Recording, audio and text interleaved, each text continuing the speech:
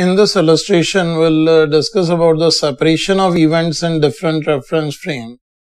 Here we are given that a train of length 350 meters starts from rest at uniform acceleration 0.03 meter per second square.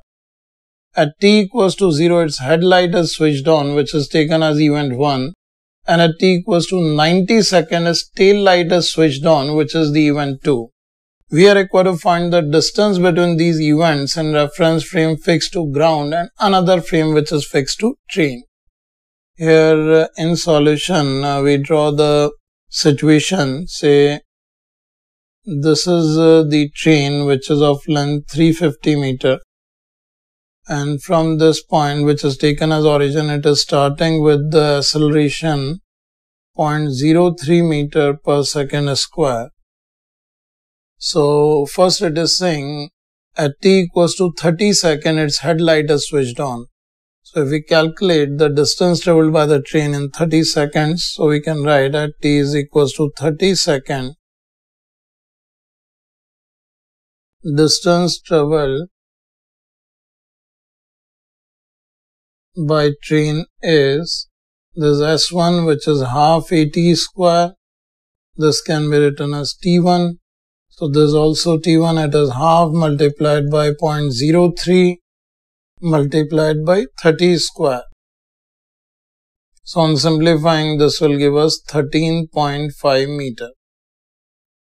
That means in 30 second the front end of train, say if train is AB, its front end B will reach this position which is at a distance of 13.5 meter from the initial location. This is B prime position where its headlight is switched on which we are considering as event 1. Now after 90 second that is 60 second after this event tail light is switched on so we can also calculate that T2 is equals to 90 second distance traveled by train is S2 which is again half AT2 square which is half multiplied by 0.03 multiplied by this 90 square. On simplifying this will give us 121.5 meter.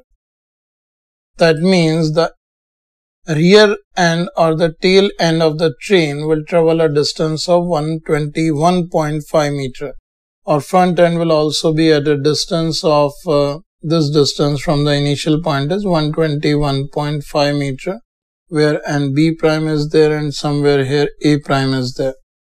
So at this location we can say this distance total is 350 meter. So here if its tail light is switched on which we are calling as event 2. We are required to find the distance between these two events, event 1 and event 2 in the reference frame fixed to the train. So here with respect to origin we can calculate it. Distance of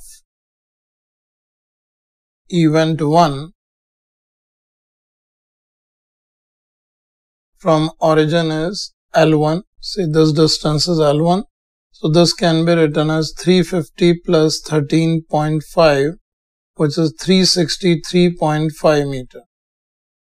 And if we calculate the distance of event 2 from origin is this can be given as L2.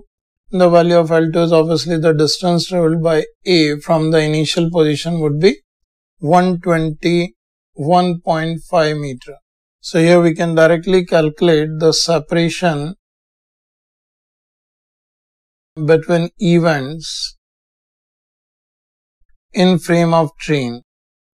Then uh, with respect to train, both the events are uh, occurring within the train only. So we can directly write this distance delta L with respect to train is 350 meter because always when we see the front end and tail end of the train while sitting in train, the separation would be 350 meter.